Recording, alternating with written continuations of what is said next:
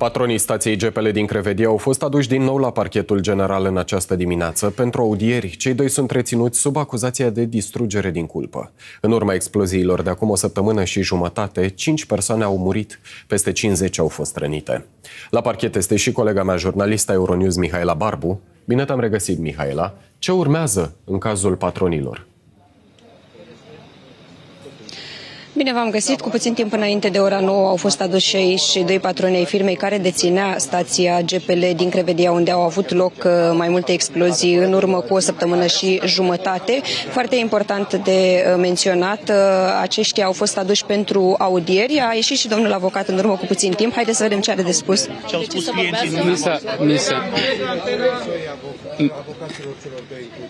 Deci, Nisa, bună dimineața. Da. să ne spuneți, au dat declarații cei doi Nu am dat declarații, ni s-a adus la cunoștință calitatea de inculpați pentru deci, cei doi asociați. Probabil va urma o propunere în cursul zilei de astăzi, pentru care ne vom întâlni la judecător. De dreptul la tăcere și de ce? Nu vor să dea explicații? Am, am, ales, am ales la îndrumarea mea să nu dea nicio declarație la acest moment. Trebuie să cunoaștem și noi dosarul, trebuie să știm la ce ne raportăm. Ați fost luați da, surprindere și... cu acest uh, dosar? Spuneați că nu ați nu, fost anunțați. Evident că nu, nu, nu, nu am fost, nu am fost luați prin surprindere, evident. La ce s-a întâmplat nu am fost, uh, era o chestiune de timp. Dar bănuiesc că și cunosc împrejurările, tot ce s-a întâmplat la firmă, au informații nu le, clare. Nu le cunosc eu. Da. Nu le cunosc eu și eu contez în ecuație. Procurorii fac referat pentru arestare preventivă? Nu știu ce fac procurorii, vom aștepta, e posibil. Să vă da. consultați cu privire la acest dosar și totuși spuneți că nu da. cunoașteți anumite aspecte. Da, nu cunosc, evident. Dacă n-am văzut dosarul, v-au explicat dar, dacă dar, știau dar, ce se întâmplă acolo și că mm, mm. s-au uh, creat premizele acestei uh, întâmplări, acestui dezastru? Deci, ce aș vrea să vă spun? Probabil că fiecare dintre noi în ce facem uh, purtăm și un risc, da? Există ceva atașat fiecarei meserii. Într-o astfel de afacere cu materii într-atât de, uh, de periculoase,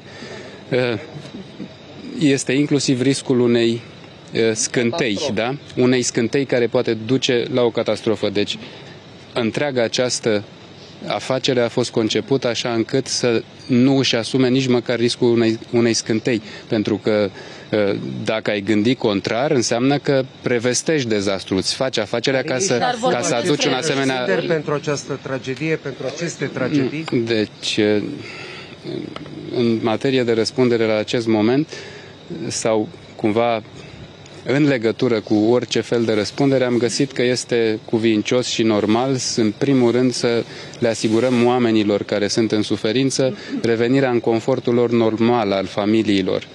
Și, și atunci, pe mai departe, pe mai departe, familiile?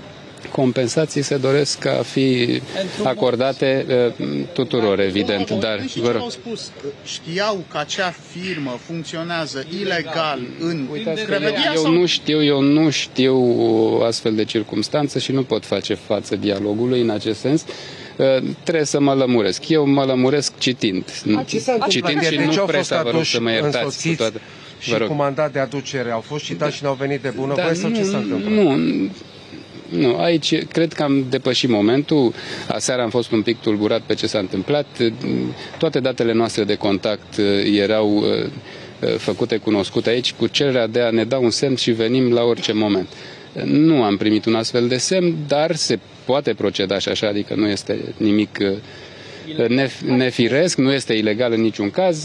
Veți combate cererea de arestare preventivă cu eventual măsură preventivă mai blândă? Evident, dumneavoastră știți și probabil că veți cunoaște uh, acum, pentru că e un, astfel, un alt fel de context, probabil că veți cunoaște uh, mai îndeaproape ce eforturi s-au făcut. În toate aceste zile, toată concentrarea și alocarea de resurse din partea noastră a fost să înlăturăm din suferințele oamenilor. La modul concret, nu doar pe vorbe, să știți, s-au făcut. Vorbeați flaga pentru repararea acestor riscuri, Dar riscurile intervin abia atunci când există activitate și îi spun că acolo nu există activitate.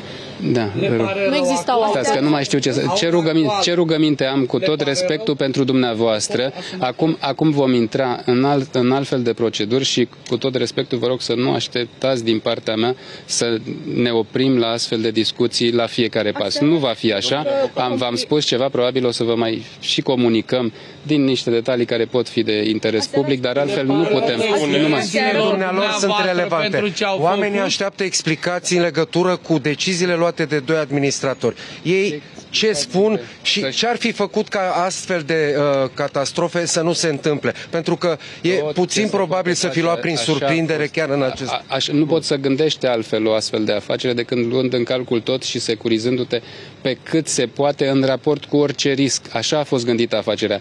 Nu a fost nici măcar o scânteie luată în calcul. Nu era autorizată, era o chestie asumată. Acolo se făcea operațiuni cu rog, GPL. Să vedem ce s-a întâmplat. Nu știm, nu știm. Se poate întâmpla la, orice, la oricare dintre stații. Ăsta este un serviciu totuși de interes public. Toți avem nevoie să alimentăm.